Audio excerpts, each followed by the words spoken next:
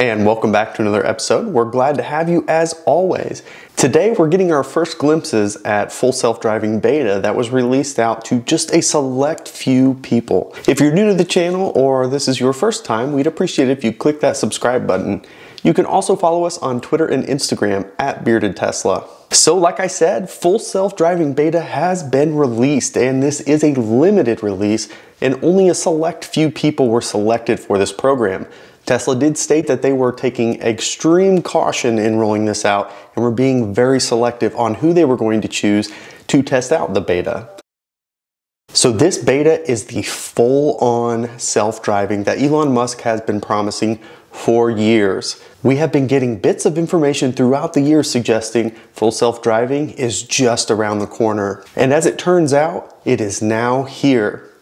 So this full self-driving limited beta will be to allow a select few people to implement the full new software, which is a complete rewrite into their Tesla cars. They're going to use these people and the data gathered from that to identify some potential issues before rolling this out across the masses. In addition, there are regulators that have to be involved in this process. Tesla can't just roll this thing out without some sort of level of review and giving regulators a chance if necessary, to implement new rules and regulations to protect you and me as consumers. So it should be very interesting to see what all comes from this. So originally we assumed that there were NDAs in place with those folks who were selected for the beta. However, we're starting to see plenty of videos popping up on Twitter. And this is kind of exciting because I was a little worried we weren't going to know anything about this depending on how those NDAs were set up. Brandon E916 on Twitter has posted several videos that show some very interesting looks at the full self-driving beta. So in this first video, we can see it traversing through a roundabout. Although it's not going around a roundabout, you can clearly see the software in the car and the cameras can identify that this is a roundabout. It appears the car comes to a complete stop, before traversing through, ensuring that there's no traffic coming by. Next, we're seeing a first ever full self-driving taking a left-hand turn. And this is kind of a big deal because this has not been accomplished in the past. And this is probably one of the more dangerous things that a full self-driving system can do. So it's exciting to see it successfully navigate and taking a left turn. It's also kicking on the turn signal all by itself, which is pretty dang cool. And here we're seeing a Tesla just navigate through an intersection. Intersections are the most dangerous place for cars to go through, so it appears that the full self-driving computers are handling this without issue. It's also doing a great job of identifying obstacles and other cars. One of the biggest takeaways I'm seeing from this is visually this is completely different than what we're used to. Now, I don't know if this is going to be a temporary thing where it's showing you what the computer's seeing, which is really cool. And then eventually, once it's fully implemented, it'll switch back to what we're used to seeing. But it'll be interesting to see how that turns out. In my opinion, this is probably too distracting as it is right now. So it should be good to see how this thing finally lands as a completed product. I want to thank the sponsor of this episode, Fantom Wallet, who offers premium wallet designs made of an aluminum chassis with options of wood, leather, and carbon fiber finishes that suits everyone's unique style. Grab the card you need with a quick flip of the lever. RFID and NFC protection is built in, ensuring a safe and secure alternative to traditional options. So now that we're seeing this for the first time, we're getting a really good idea of what to expect with full self-driving. Elon Musk did tweet last night that full self-driving, both new and upgrade, meaning buying a new car with full self-driving or an existing car and adding full self-driving will be going up by $2,000 come Monday. This is a very short notice and probably the shortest notice we're getting of a new price increase.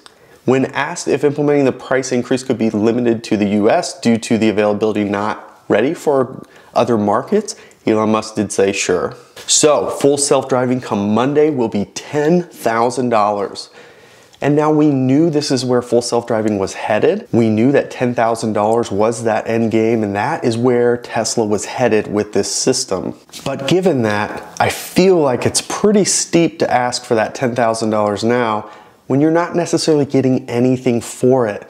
So come Monday, it'll cost you $10,000 and you will not have anything more than what you had on Sunday. There are a lot of approvals that have to happen and a lot of regulators that have to be involved for this thing to be rolled out across the masses. This can't just be flipped on like a switch. So the problem's going to be, in my mind, is how do you convince somebody to pay $10,000 for something they're not going to have access to? Although that's the same question I've been asking at the $7,000 mark and recently the $8,000 mark.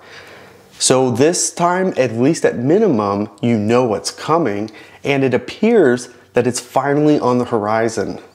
Tesla's been promising this for the end of 2020 and it looks like they might actually do it. But again, there's a lot that has to happen between now and the end of the year for this thing to be fully live across the fleet. This starts to beg another question. Where is the subscription model? I was really thinking that we would hear more about this last night on the earnings call. However, we still don't know what the pricing is going to be and when to expect full self-driving subscription model to be available. People like myself are waiting for that subscription model so we can try it before we buy it. And I think that that'll be a great option for a lot of people depending on how the subscription model is set up. Can you add it when you need it and remove it when you don't? If that's how it's going to work, I think it's going to be very hard for Tesla to sell a full program. So it'll be interesting to see and what that price is as well. So again, still no news there, but my best guess at this point, they're going to roll that subscription model out in parallel with implementing and releasing full self-driving across the fleet. So if end of 2020 is indeed that time frame, I would expect that subscription model to also be available end of 2020. So I'm curious to know, after seeing some of these videos coming out and understanding now that the price is going to go up by $2,000, will you be getting full self-driving over the weekend? Are you going to be spending the $8,000 now between today and Sunday, or are you going to continue to hold off, or are you just simply not interested in getting full self-driving? Let me know in the comments what your plans are and why.